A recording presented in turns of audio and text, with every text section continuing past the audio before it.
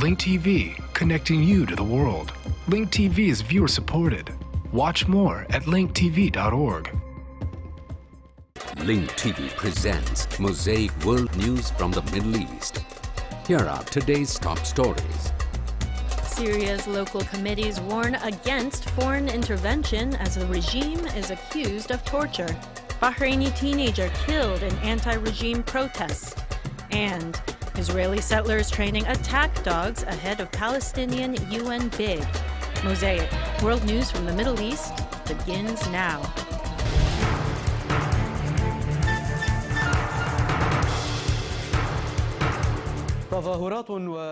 Demonstrations and raids continue in Syria as Amnesty International releases a report on deaths caused by torture. The U.S. State Department confirms that Damascus retains control over its chemical weapons, and French President Nicolas Sarkozy states that the Syrian president's actions are irreparable. The Syrian Observatory for Human Rights said 473 people were killed in Syria during the months of Ramadan, including 360 civilians and 113 soldiers and members of the internal security forces. The observatory indicated that 25 minors and 14 women are among the killed adding that the death toll does not include victims killed during the military operations in the city of Hama due to the difficulty of documenting those cases. The operations were carried out from August 3rd to August 10th. Amnesty International confirmed that 88 Syrians, including 10 children, died in detention centers and police stations between April and August, and indicated it has the details of those cases. The organization indicated that at least 52 people seem to have been subjected to some form of torture, which probably contributed to their death. As for the local coordination committees, they warned Syrians against resorting to carrying weapons and calling for foreign intervention in their anti regime uprising. The committee stressed the need to maintain the ethical and peaceful nature of the revolution and urged Syrians not to get sucked into a playground in which the regime is clearly superior. In another development, lawyer and human rights activist Ibrahim Khalil said heavily armed security forces stormed the office of lawyer Mustafa Sulaiman in Aleppo and arrested him along with his wife. This comes as night demonstrations continued yesterday in a number of areas. Rights organizations confirmed that soldiers, reinforced by tanks, raided a number of houses in the neighborhoods of Al-Qusur, Al-Hamadiyya, and Al-Zahiriyya and Hama in their search for activists. In addition, they stormed the town of Hula in Homs. Videos posted on opposition websites showed heavy gunfire targeting demonstrators in the town of Al-Harra in Daraa, where four people were killed, including a child.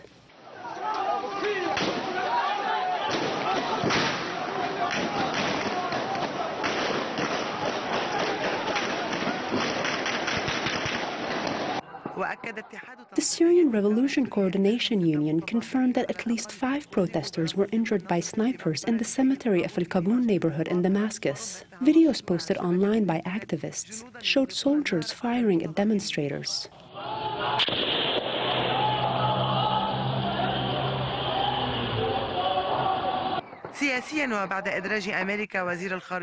On the political front, and after the U.S. expanded its sanctions to Syrian Foreign Minister Walid Maalem, Presidential Advisor Butayna Shaban, and Syria's ambassador to Lebanon, Ali Abdel Karim Ali, the U.S. Department of State announced that the Syrian regime maintains control of its nuclear weapons. State Department spokeswoman Victoria Nuland said, quote, We have long called on the Syrian government to give up its chemical weapons arsenal. That said, we do believe that Syria's chemical stockpile remains under government control. The spokeswoman added that Syria has a stockpile of nerve agent and some mustard gas, indicating that the U.S. is working with like minded countries to ensure there is no proliferation of that material.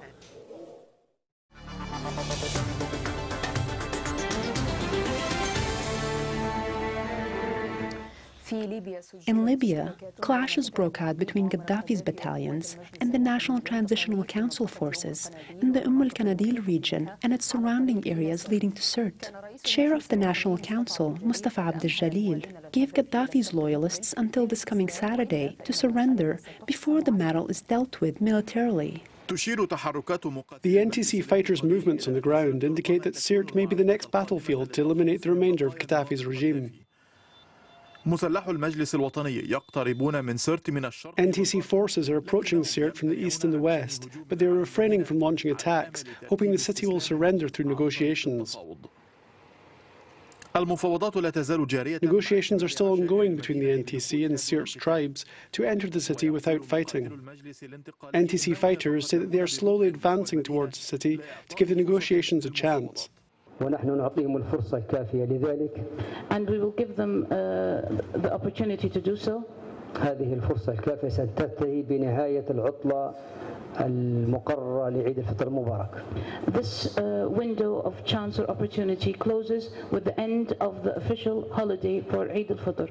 وبداية من السبت القادم and beginning from next Saturday إذا لم تكن هناك بوادر سلمية لتنفيذ هذا الأمر على الواقع if there are no uh, peaceful indications, clear peaceful indications for conducting this on, uh, in reality, فإننا باستطاعتنا حسم الموضوع عسكريا ويحاول المجلس الانتقالي إعطاء المفاوضات The Transitional Council wants to give the negotiations a chance because the battle for Sirte will most certainly be the most violent one.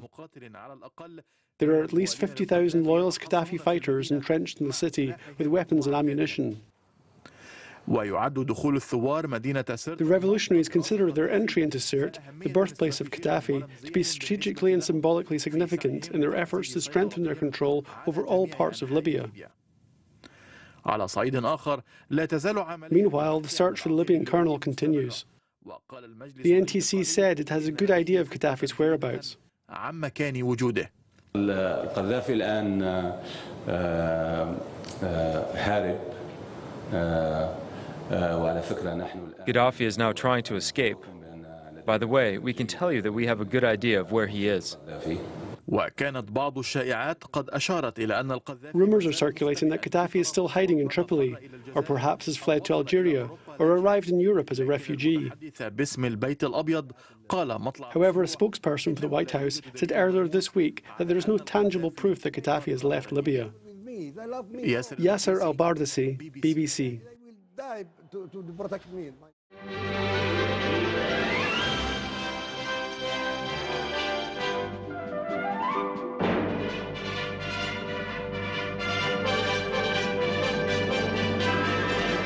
European Union diplomats said European Union sanctions against six Libyan ports for oil companies and more than a dozen other entities could be lifted as soon as Friday.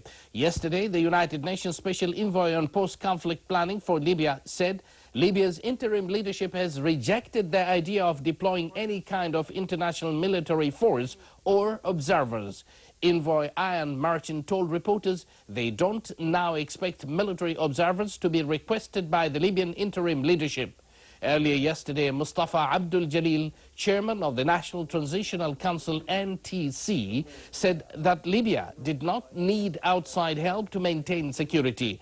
Martin, however, said the United Nations expected that the NTC would ask it to help establish a police force.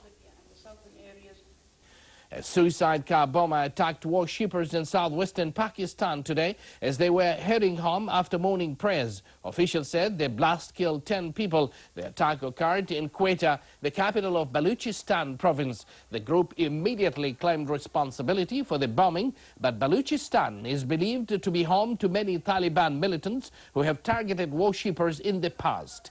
Quetta's police chief said the bomber was apparently targeting a mosque but could not get close enough because the road was blocked.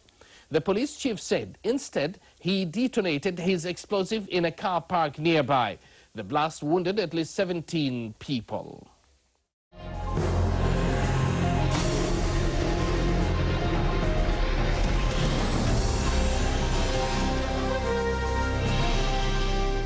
بدأت إحدى جماعات المستوطنين اليهود في تدريب الكلاب على أعمال الحراسة ونشرها في A Jewish settler group began training dogs to guard settlements in the West Bank to counter any possible backlash as Palestinians plan to head to the UN in September to declare a state in the West Bank and the Gaza Strip. في الضفة الغربية وقطاع غزة وكانت صحيفة هآرتس The Israeli Haaretz newspaper revealed that the Israeli army is conducting training sessions for settlers, in which they will be able to open fire at any anticipated Palestinian protest. هم عناصر ما يسمى الكتيبة They are members of the so-called Civilian Canine Battalion for dog training in the West Bank or Judea and Samaria as known to Israelis. This demonstration is showing the dogs in training how to guard and protect Jewish settlers, as well as counter any possible security unrest in the West Bank, as Palestinians seek recognition of statehood at the UN. People have become more aware of the threats facing them in their homes across Israel and the West Bank.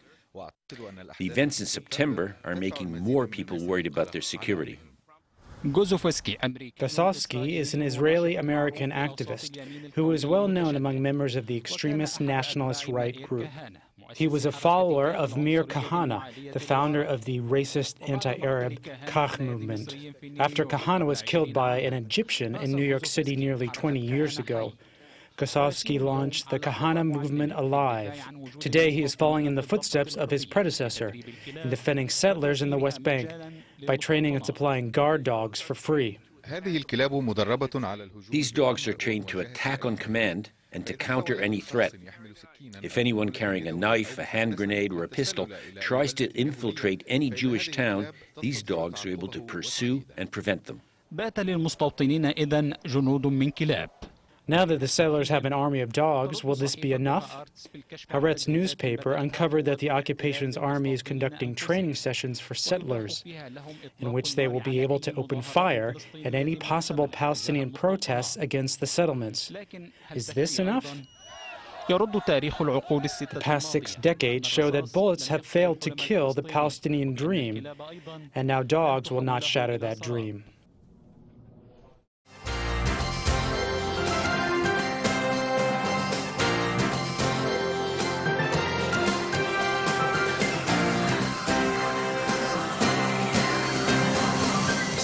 U.S. lawmaker has introduced legislation calling for United States funds to be cut off for any UN organization that supports giving the Palestinian Authority an upgraded status at the world body.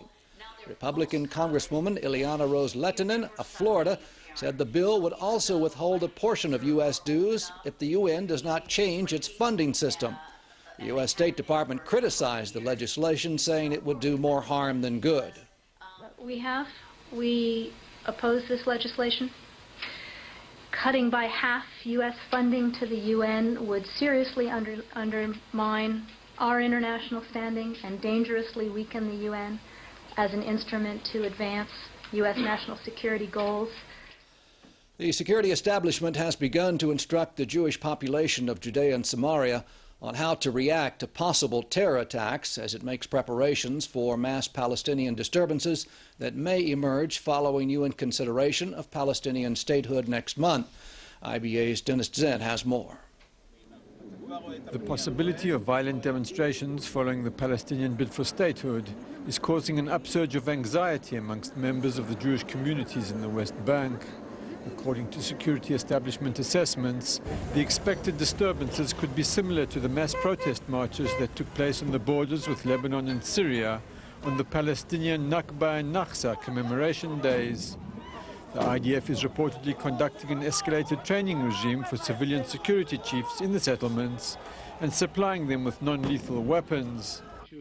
When questioned about her reaction to this news, State Department spokesperson Victoria Nuland sidestepped the issue. Apart from saying that we have regularly engaged with both Israelis and Palestinian governments to urge them to do everything possible to maintain peace and security in the West Bank, uh, and we will continue to do that. We, um, the right path for both sides is to come back to the negotiating table. Haifa University professor Dan Schueftan was more direct. You can't say to an Israeli settler, because the leftists don't like you, we will not help you when people come to kill you. I mean, you, what do you want? So that people will come to, is that Palestinian terrorists will come to Itamar, but then in Itamar they will not be helped by the army to defend themselves, and before the army arrives, they will not do anything but against it. Doesn't this create small private uh, settler no, militias? It doesn't. It doesn't.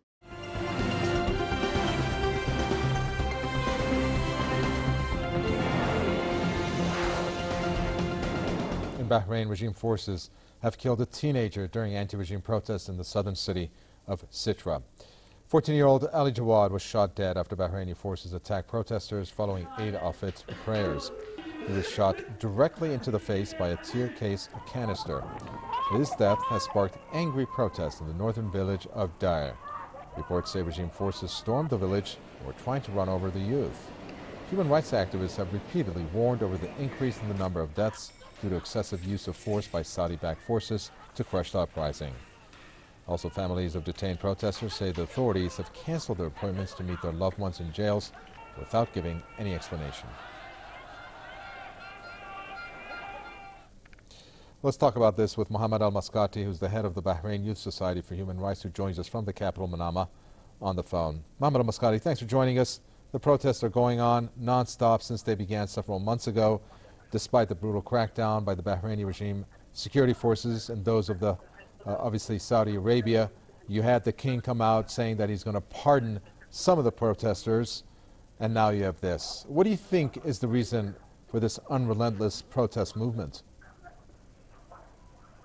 Actually, the protester for a long time is not not stopped uh, from long time, and it is continue uh, from 14 February until now.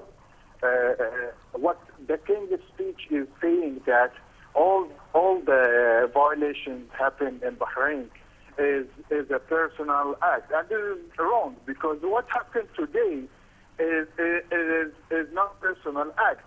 The security forces attacked the protests, and uh, the guy uh, who were uh, protesting got shot directly in his face and fall down with uh, bleeding and he died. So it is it's not a personal act. It is it's, uh, it is something from the upper uh, authorities who who are giving orders to attack the protesters.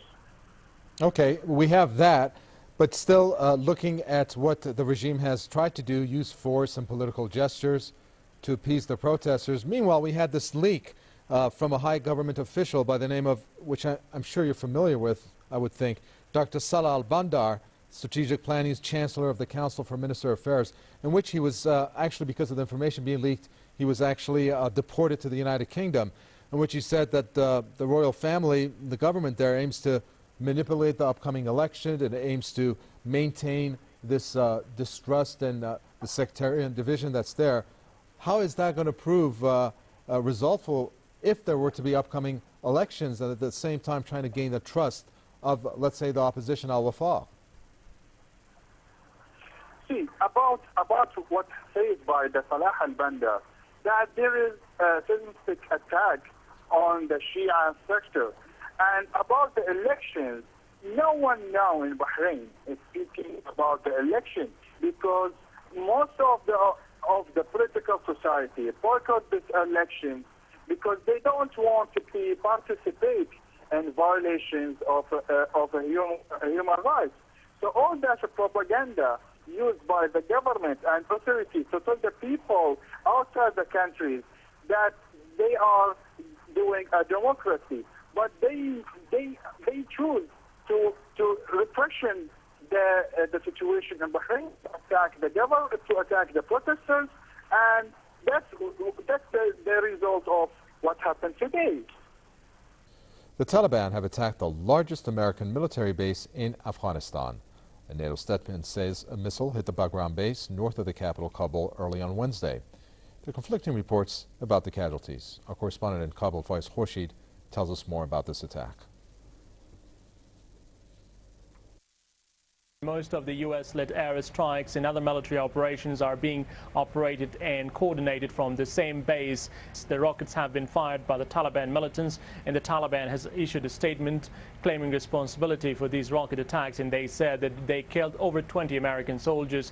It's not something new. This base has been attacked many times by the Taliban militants, But it has been also attacked by other militant groups like the uh, Haqqani network and also by the uh, Gulbuddin Hekmatyar net network in it. Uh, in that area where the base is located is very volatile. But this is not only Bagram. Other U.S. military bases in other parts of Afghanistan, like the second largest U.S. military base in eastern Afghanistan in Jalalabad city, also the third U.S. military base in Kandahar, all these bases have been attacked many, many times by the Taliban militants.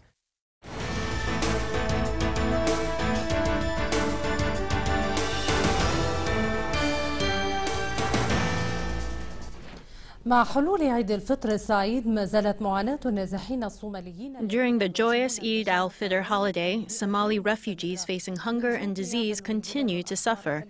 For its part, the Iranian Red Crescent Society and other organizations provided medical aid and necessary supplies to the refugee camps in order to ease the suffering of the hundreds of families who hang their hopes on the aid. معظم أطفال النازحين هنا في مخيمات موغاديشو لم ترتسم البسمة على شفاههم Not many displaced children here in Mogadishu's refugee camps are smiling on the blessed holiday of Eid al-Fitr. Indigent orphans in this tiny hut began their Eid holiday waiting for their poor mother who went door to door asking for a morsel of food to help their hunger, a hunger that doesn't know the meaning of the Eid.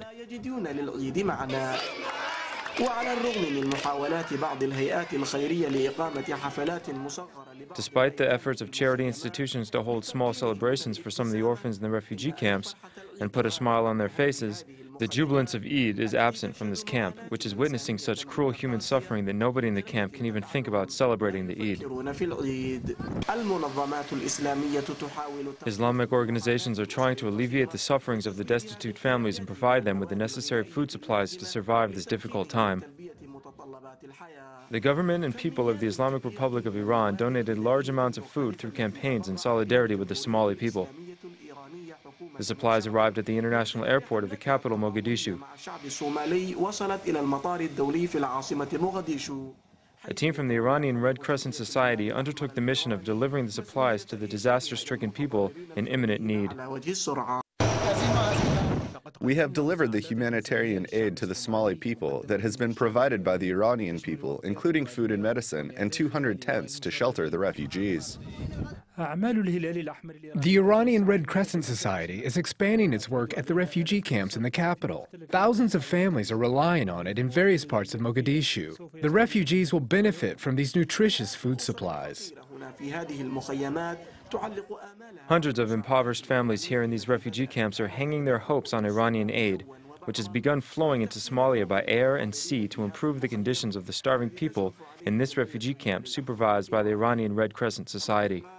Ahmad Silal, Alalam Mogadishu.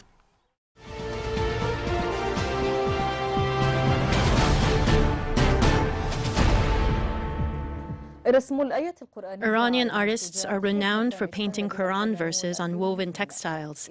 They managed to produce the world's first woven Quran, on which artist Yusuf Madadi depicted the Quran's verses. Ahmed Ali has the details. The charm of the Holy Book of Quran is not limited to its eloquence and articulation or to its sentences and verses. Its charm is also reflected in the aesthetic value of its characters and words, which has drawn wide attention from artists of various schools and backgrounds. Weaving the verses of the Quran is an art that Muslim artists care a great deal for.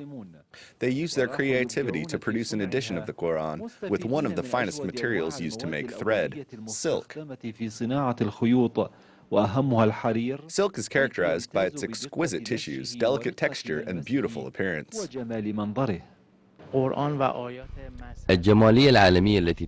The aesthetic value of the verses of the Holy Book of Quran motivated us to move forward in our artistic work and produce weaves of Quran verses. What we did was design the graphics and combine them, then use them to produce the textile. We managed to produce a large amount of these weaves in different sizes with various designs. الفنانون الإيرانيون واصلوا مشوارهم في نسج اللوحات The Iranian artists continue to advance on their path of weaving the verses of the Quran until they succeeded this year in producing the world's first silk Quran. This woven silk Quran was created by Iranian artist Yusuf Madadi, a native of Tabriz city in northwestern Iran. 130 صفحة تتكون منها هذه النسخة This edition of the Holy Book of Quran contains 130 pages and weighs 8.5 kilograms. ونسج كل خمسة أجزاء من القرآن ستة أشهر It took about six months to weave five parts of this edition, and finishing all 30 parts of the Quran may take about two and a half years. الخط المستخدم في هذا القرآن يتعلق The بالمرقوم calligraphy used in this edition of the Quran was inspired by the late Hajj Agha Nairizi and was woven in 30 different colors and various types of gilding. The size of the page is 50 by 70 centimeters. لقد سعينا للتعريف بهذه We tried to introduce this edition of the Holy Book of Quran to the world, and we received invitations to show it in a number of countries, such as Qatar and Lebanon. As for the characteristics that distinguish this edition from other types of Quran, we can say for certain that the woven Quran will be more durable and less susceptible to damage. It is worth noting that an important feature of this valuable work is that every five pages of an ordinary edition of the Quran are woven onto one page. In addition, each page is leather-rimmed, making it washable. The production of this unique edition of the woven Quran in Tehran coincided with the holy month of Ramadan, the month of the revelation of the Holy Quran. Ahmed Ali, Al Furat, Tehran. The views expressed on Mosaic are from contributing broadcasters, not Link TV or its sponsors. The production of Mosaic is made possible by grants from the John D. and Catherine T. MacArthur Foundation, the Firedoll Foundation, and by support of viewers like you. Thank you. Watch Mosaic World News online. Stay up to date with breaking news, read our blog, get transcripts of past shows, and more at linktv.org slash mosaic.